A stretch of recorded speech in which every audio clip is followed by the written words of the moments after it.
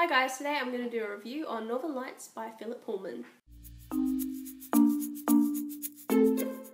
This is my first time reading Northern Lights. I realise it's a very much highly acclaimed novel, very popular, and I thought it was about time that I read it. Northern Lights, to put it simply, is a beautiful novel with interesting characters and a far more interesting world. From the minute I started reading, I was drawn to this steampunk inspired world with Christian influences. Our hero is a young orphan girl by the name of Lyra who was raised in Oxford by scholars. In short time, we realise she's very important to the fate of this world. That and other strange things kidnapped children, church mysteries, armoured bears, witches, this strange thing called dust, and perhaps the most interesting thing of all daemons. I love the concept of daemons. Basically, they're constant animal companions who are tied to each of the human beings in the world. They're the external self of a human being, their emotion, their soul. Before each human reaches puberty, they can change the shape whenever. But once they grow older, they take a fixed shape.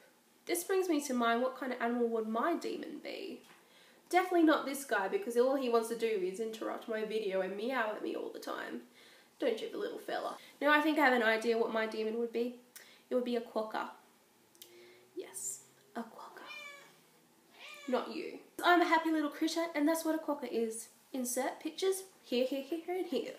I also enjoyed the political, scientific, and religious aspects of this world. It was interesting how it explored political subterfuge and coercion despite it being a children's novel, and how we as adults love to obsess over innocence and preserving that innocence. However, despite my interest in the world, not everything was up to scratch for me. Information about the world felt heavy handed at times, too much telling, not enough showing in some cases. Plot was hardly special, it's sort of like a Jesus plot although it did have some interesting parts.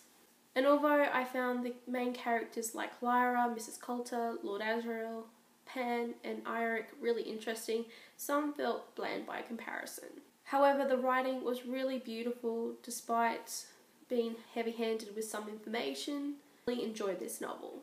I will continue with the series just to sate my own curiosity, so I ended up giving it 3.5 out of 5 stars.